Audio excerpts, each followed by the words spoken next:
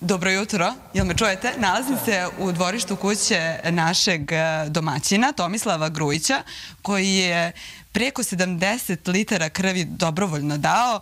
Sada ćemo pričati o, e, sa njim na tu temu. Dobio je brojne zahvalnice, zlatne medalje za svoje dobrovoljno davanje krvi. Tomislave, kada ste prvi put dobrovoljno dali krv? Prvi put sam dao sa 19 godina, znači 1969. godine. E, sve do 65 godina koliko zakon predviđa jer dobrovoljni daleci krvi mogu da daju krv od napunjenih 18 godina do 65. Za to vreme dao sam 173 puta što je u litrima negde preko 80, vi ste u najavi rekli 70, preko 80 litara krvi je to. E, mogu da napomenem i da sam boraveći jedno vreme u Italiji kod svog sina, snaje i unuke e, i tamo dao tri puta krv, tako da sam, može da se kaže i da sam internacionalni davalac.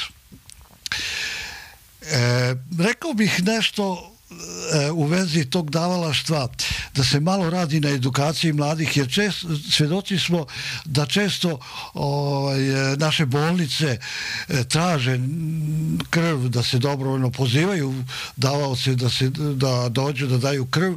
E, malo se radi na edukaciji mladih. Po meni bi to trebalo možda da se počne još od predškolskih dana ili roditelji da usade deci ovaj, da usade tu naviku da imaju zadavaloštvo pa onda preko školskih ustanova tako da kad već pođu u srednje škole da oni već budu ovaj, formirane ličnosti da oni imaju tu moralnu dužnost da kažem tako i obavezu da daju jer dati krv znači mnogo. Jedna bočica krvi može da spasi i nekoliko života, jer često se ne daje čista krv, daje se, izvade se tu razne elementi, plazma i, i, i ostalo. Tako da, meni je lično, verujte, zadovoljstvo kad znam da sam mnogim ljudima možda i spasio život, a i učinio im da im te gobe budu, da, da se izleče, da im te gobe budu lakše. Tako da me to ispunjava. Na svaka tri meseca sam davao. Šta, šta je vas navodilo da, da toliko puta dobrovoljno date krv? Pa, Koja je neka vaša motivacija za to? Pa upravo to e, što, što znam da sam e, davanjem krvi pomogao nekome. Ili da ozdravi, ili da mu ublažim bolove, ili da mu čak i život spasim. Inače, prvo davanje krvi je bilo sasvim slučajno. U Azanji je bila ekipa iz Beograda na terenu koji su uzimali krv.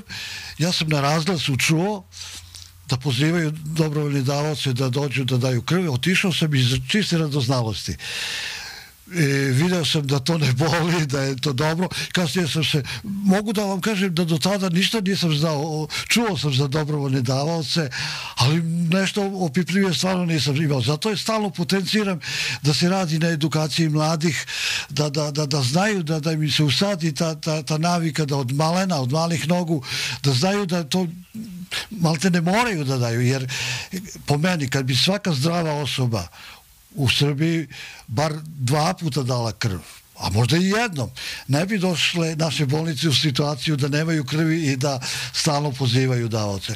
Znači, iz čiste radoznalosti je to počelo i onda sam na svaka tri meseca redovno išao u kabinet za transfuziju u Smederskoj palanci i kažem još jednom, eto i u Italiji sam tri puta dao to ulazi u tih 173 puta. I to mi je šef e, kabineta za transfuziju u Palanci rekao da sam rekorder u ove naše dve Pala, Palančkoj opštini i opštini Velika Plana. Možda i šire, ne znam, ali za ove dve opštine mi je rekao da sam rekorder jer ni blizu nikog nema sa toliko davanja krvi. Hvala vam puno Tomislave. Čuli ste našeg internacionalnog davaoca krvi.